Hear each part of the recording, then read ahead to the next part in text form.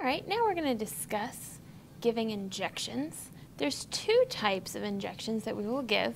We will give a subcutaneous injection, or called a sub-Q injection, or an intramuscular injection, or an IM injection. Now, the location for an IM, or intramuscular injection, is going to be somewhere usually in the arm. It can also be in the thigh. We're looking for a large muscle group, like this. And the sub-Q or subcutaneous injection is going to go into the fatty layer directly under the skin. Usually these are done by pinching the um, skin on the bottom of the arm and injecting right in there. So we have two types of needles for these different injections. The intramuscular injection has a much longer needle and it will come in two parts. You'll have your syringe and your needle. You will attach your needle and remove the cover. Now, your subcutaneous needle is much smaller and will sometimes come assembled. All right, now to draw up our injection, the first thing we're going to do is take our medication and identify it to ensure that we are giving the correct medication to our patient. Then we're going to crack the lid. We're then going to take an alcohol swab and clean the top. Next we're going to take our needle. Now we're going to withdraw our medication.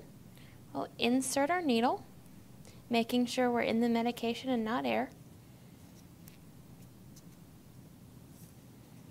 And draw back our syringe, ensuring we're getting medication, not air. Now I want 3 cc's of medication, so I'm going to pull back. Then, once I withdraw my needle, I don't want to inject any air into my patient, so I'm going to push any extra medication out. You can see my plunger is right on that 3 cc line. Now once I have my medication, I've ensured that I'm giving the right medication at the right dosage to the right patient at the right time. I will go ahead after triple checking my patient's ID band and inject the medication to my patient.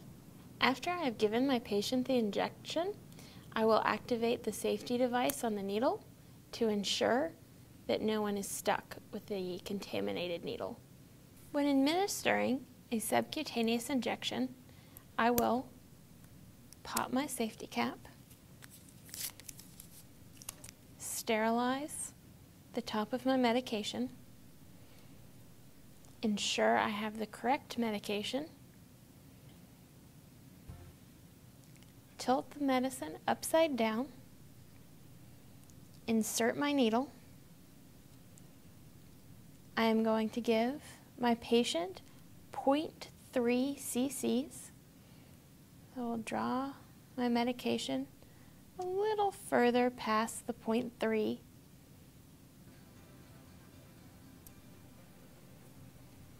I will then expel all the air bubbles, sometimes tapping my syringe to get them to come to the top.